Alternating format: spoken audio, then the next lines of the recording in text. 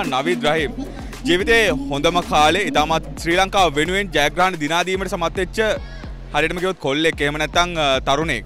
මේ තරුණයා ගැන කතා කරද්දී කොළඹ ඩීඑස් සේනානායක විද්‍යාලයෙන් තමයි මේ නවීද් අ, අධ්‍යාපනය ලබන්නේ. ඒ වගේම මතක් කරන්න ඕනේ අ, ලෝකඩ පදක්කම ජාත්‍යන්තර මට්ටමේ කනිෂ්ඨ ආසියානු ලෝකඩ පදක්කම ශ්‍රී ලංකාව වෙනුවෙන් දිනාදීමට සමත් වෙච්ච මේ දරුවා තමයි ශ්‍රී ලංකාවේ අනාගත පැරාලිම්පික් සිහිනය සැබෑ කරන බලාපොරොත්තුව.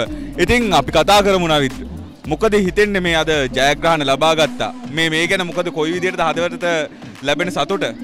ඔවු ඇතරම ලොකු සතුටක් තියෙන හිතේ. අ, මේක තනියෙන් ආපු ගමනක් නෙමේ ඇත්තටම. අනිවාර්යෙන්ම සෝ ඉතින් හැමදාම අ, අදත් පීබි එකක් ගියා. සෝ ඉතින් අ, දිගටම ට්‍රේන් කරනවා හැමදාම වගේ. අ, ඉතින් අනාගත බලාපොරොත්තුව කියන්න ඉතින් අ, කවදහරි ඔලිම්පික් ඔලිම්පික් මෙල්ලය ලංකාවට කියන එක තමයි. සහ ලබන අවුරුද්දේ ආසියනු තරඟවලේ තියෙනවා එකට ඉතින් උනුවම් කරගෙන යනවා.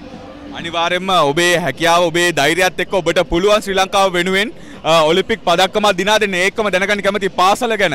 කොළඹ ඩීඑස් සේනානායක විද්‍යාල ආඩම්බරකාර පුතෙක්. මොකද හිතෙන්නේ පිළිබඳව?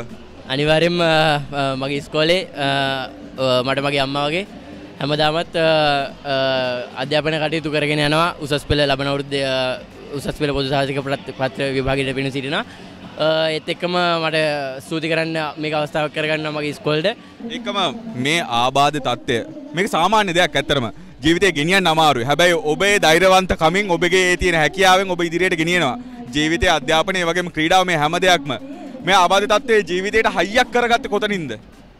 ඇත්තටම මම හිතන්නේ එක මගේ අම්මගේ තන් අම්මගේ අම්මයි තාත්තකින් තමයි යාවේ එගොල්ලම් මට කවදාවත්ම බැහැ කියලා කියලන හැමදෑම කියන්න මට පුළුවන් ඒ දහිරයෙන් තම මම මේ මෙතන ඉන්නේ. අනිවාර්යෙන්ම මම හිතන්නේ සහ මගේ කෝචස්ලත් කියන හැමදාම ම වුෂ් කරන දැන් වයස කීයද? දැනට දහටයි. මේ අනිත්තන ගෑන් ළමෙක් එහෙම ඉන්නවද?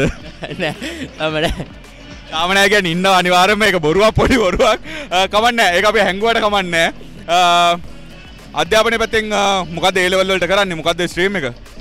මැස්ත්‍රීම් එකෙන් තමයි ම එලවලට ඉන්න. මෙස් විත් අයිටස් අයිසිට ගනිත විෂය ධාරාව හදාරන්නේ කියන්නේ සෑහන අමාරු විෂය ධාරාවක් ඒකම ක්‍රීඩාව සහ මේ විෂය විෂයට අනුබද්ධව මේ ක්‍රීඩා රටාව කොයි විදිරද බැලස් කරගෙන යන්නේ? ඔවු ඇත්තට මේක ලොකු චැලෙන්ජ එකක්. අ, සිසු එකන සිසු ක්‍රීඩකයක් කියන්නේ ඇත්තරම ලොකු තැනක ඉන්න ඕනෙක් පුද්ගලයෙක් ලංකාව වගේ රටක. අ, මොකද දෙකම බැලස් කරනගෙන අනිවාරෙන්ම ලොකු අභියෝගයක්. ඔවිදි ඒක කරගෙන නයිති ඉතින්.